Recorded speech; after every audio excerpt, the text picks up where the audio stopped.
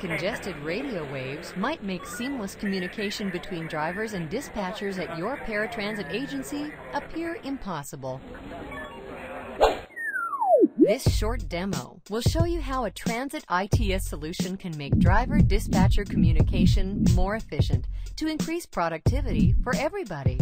Meet Hank and Jan. Hank is a driver for Number One Transit, and Jan is the dispatcher.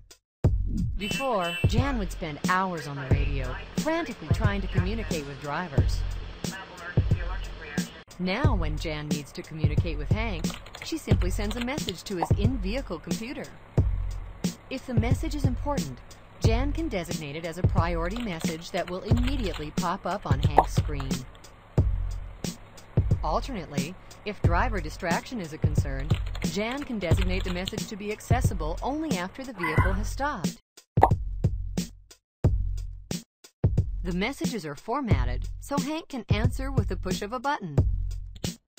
Hank can also communicate instantly with Jan by selecting from a list of canned messages.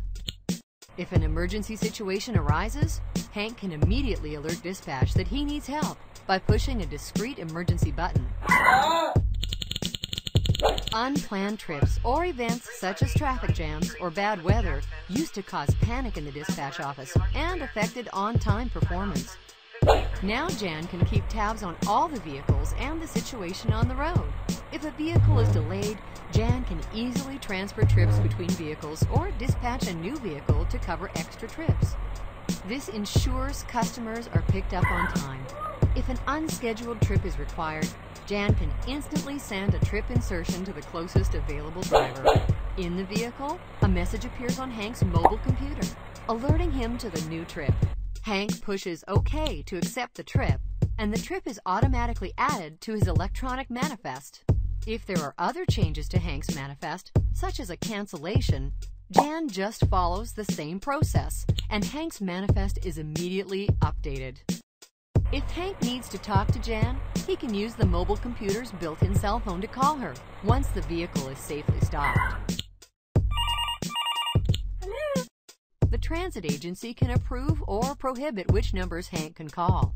For example, Hank could reach only dispatch or have complete access to any number.